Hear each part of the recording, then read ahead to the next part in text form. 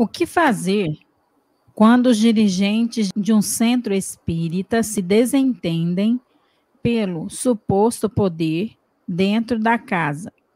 Um afasta o que mais contribuía para a casa.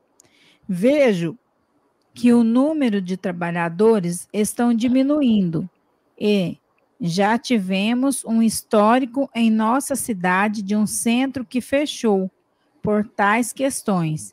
Estou bastante preocupada. Grato. Na minha experiência de mais de 40 anos de doutrina espírita, não conheço nenhuma casa que tenha tido discussão, briga e racha que tenha continuado a sua tarefa de maneira como estava antes. O nosso trabalho é um trabalho espiritual.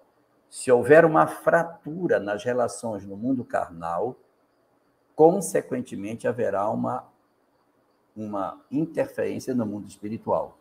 Tudo aquilo que ligares na terra será ligado no céu. Quando nós nos unimos aqui, a espiritualidade também consegue fazer o trabalho se unindo do lado de lá. E tudo aquilo que desligares na terra será desligado no céu. Quando o grupo se desentende e racha e alguns companheiros se afastam, o esperado é que o trabalho sofra em função disso e caia a qualidade da tarefa.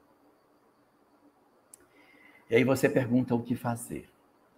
A primeira coisa a fazer é não tomar partido, no sentido de dizer: seu fulano está certo, seu Beltrano está errado, e criarmos uma espécie de divisão organizada dentro da instituição.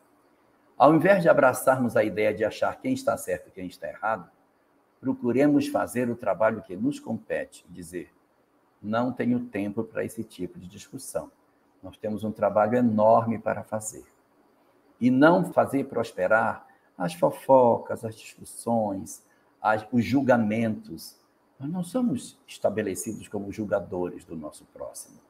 Então, quando houver um racha na casa, a gente não traz esse prurido para dentro das nossas reuniões, não fica esticando conversa no WhatsApp ou na reunião mediúnica, está sabendo o que o seu fulano disse? Não quero saber.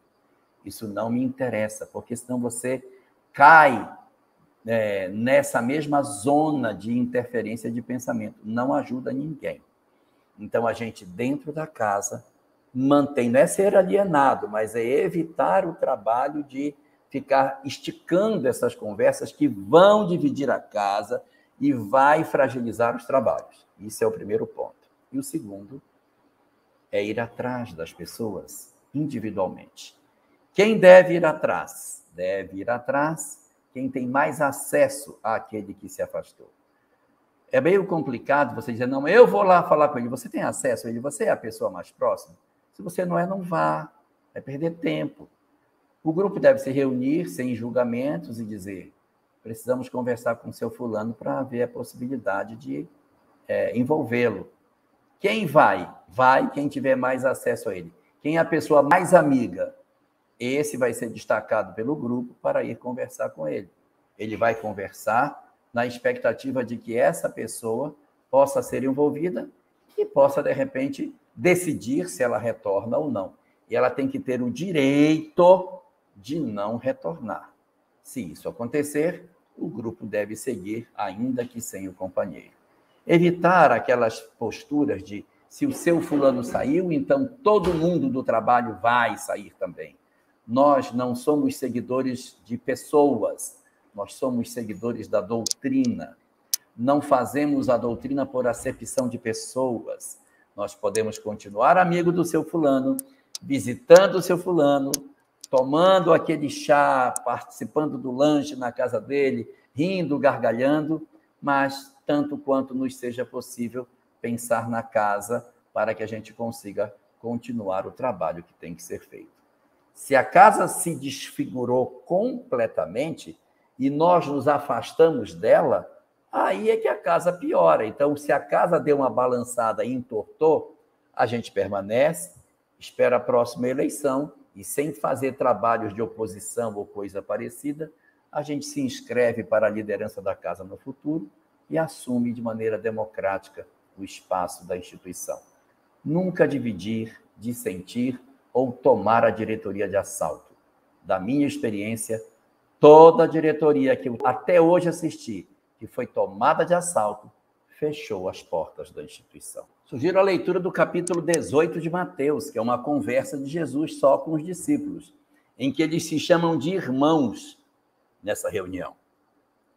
E Jesus diz: ponto número um.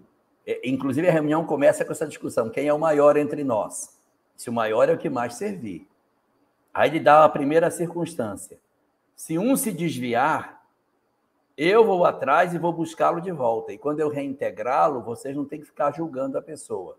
Ou seja, a ovelha perdida. Ele vai buscar, o pastor busca a ovelha, não é a ovelha que busca a ovelha, o pastor busca a ovelha. E quando ele traz, as outras ovelhas não dizem, é, tu, hein, desviou, né? Integra no rebanho, acabou. Assunto encerrado e bola para frente. Então, quando a pessoa desgarra, o Senhor se encarrega de trazê-lo. O Senhor pode, na verdade, sim, é, utilizar-se de nós como instrumento, mas tem que ir no espírito do Senhor para ir buscá-lo e não no espírito do julgador. Aí Jesus cria uma segunda situação. Dois discutiram. Dois de vocês, doze, discutiram. Como é que resolve? Os dois se sentam e tentam se resolver. Se eles se resolverem, assunto encerrado, bola para frente. Não se entenderam, chama mais um ou dois e senta esses três ou quatro e tenta resolver. Se mesmo assim não resolver, aí chama os doze e senta com os doze para conversar com todo mundo. Aí o que o grupo deliberar está deliberado. Se o grupo decidir que o cara não pede perdão e quer seguir, repara que agora é a plenária que está reunida. Se a plenária decidiu que a pessoa não está alinhada, então ele vai ser desligado da instituição. É o que Jesus disse. Você vai desligá-lo, e tudo que desligares no céu, da terra, será desligado no céu. Está lá nesse capítulo 18 de Mateus. Uma leitura desse texto deve ajudar nesse sentido.